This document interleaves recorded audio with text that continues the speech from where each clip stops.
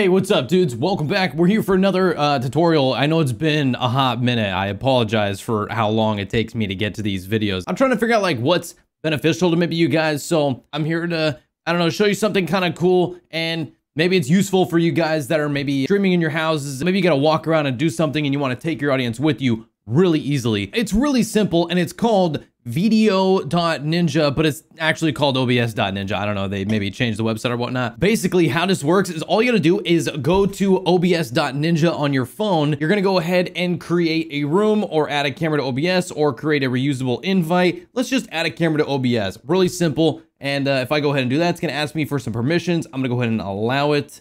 And uh, now it's going ahead and trying to look for my camera. And now that it's found it, it sees the source. You can actually see a little live preview right there. Uh, I can go ahead and hit start or customize my options here. So what I'm going to do is I, I can also add a password, which is kind of nice. So if I didn't want people to see this or log in, like it could only be accessed by me, we're going to take that off for now. So uh, I'm going to use the front facing camera right here. I'm going to hit this little start button. And now that I start, you can see we're in full camera mode.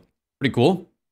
It looks like it actually defaulted to my uh, my face cam here. So it's on the front facing camera. But on the top, you can actually see this little link right here uh, up, up on top that is showing you what you need to copy and bring into OBS. It's really this simple, man. All you gotta do, go ahead and click the little uh, clipboard, copy to clipboard, and now you gotta send that to yourself via, I don't know, Twitter or however you want to send it. Now, yeah, I don't know how you're gonna get that link to yourself, put it to your Discord on your phone, message yourself, or just type it in. So, you know what? It's short enough that I can type this in, so I'm gonna go ahead and type it in. Let's go ahead and jump into my uh, my desktop so I can show you exactly how this is all set up. Now we're inside of OBS. So what you need to do is open up your uh, your little source menu here and go ahead and add a browser source. Yeah, man, it's gonna be nice and simple. So I'm gonna come over here. We're gonna set this to uh, 1920 by 1080 and uh, I'm gonna leave it as is. Now over here, we did see the link and the link ends up showing W capital F and then I'm gonna go ahead and hit enter and hopefully it goes, and, looks, and looks, and it does, and right there, the, the, the source is already live and ready to go. So, and you can kind of see the delay is is pretty good. If you're trying to send audio to this, you're gonna want to make sure that you have, uh,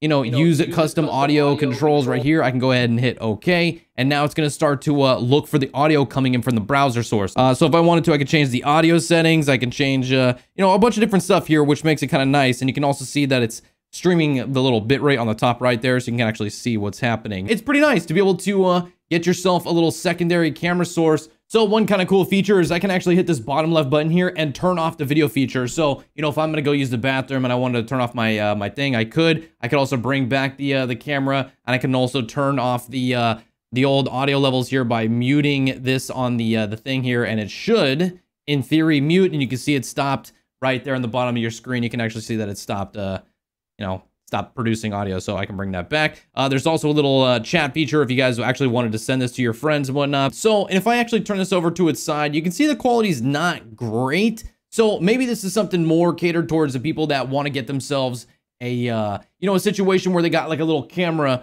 somewhere up in the top side of the screen. Now, this is totally acceptable in my opinion. If I go full screen preview on this,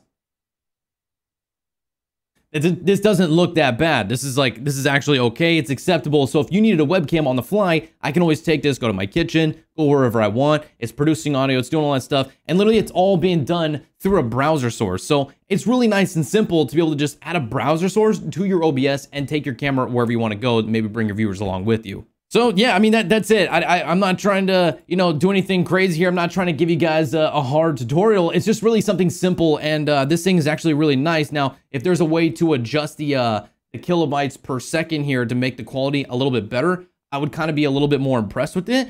Um, and there is other options out there. There is another uh, plugin which I'll I'll link. I don't know here called iVCam that does the very similar thing, but I think it goes over your uh, your network potentially. So uh, keep that in mind that iVCam is another option you can use to go ahead and send your, your camera feed to your uh, your streams, your OBS, or whatever you want through a browser source. But that's it. Uh, that's the end of this video. Uh, feel free to like and subscribe. Uh, I'd appreciate it. You know what I'm saying? I'll try to get more videos going out uh, on the more regular here. I've been working on the side here, shooting stuff and editing and all that kind of stuff. So anyways, come on in, come on back. You know, there's more tutorials over here and uh, on the channel. So, you know, or you can tune into my live streams, activater.tv. Come hang out. Uh, I'm usually live Monday, Wednesday, and uh, Friday. So I'll catch you guys uh, later. Thanks for watching. Appreciate you dudes. And uh, till next time, Have a good night. Have a good morning. Have a good evening, wherever you are. Stay beautiful. Stay awesome. You are awesome. Catch you on the next one. Bye.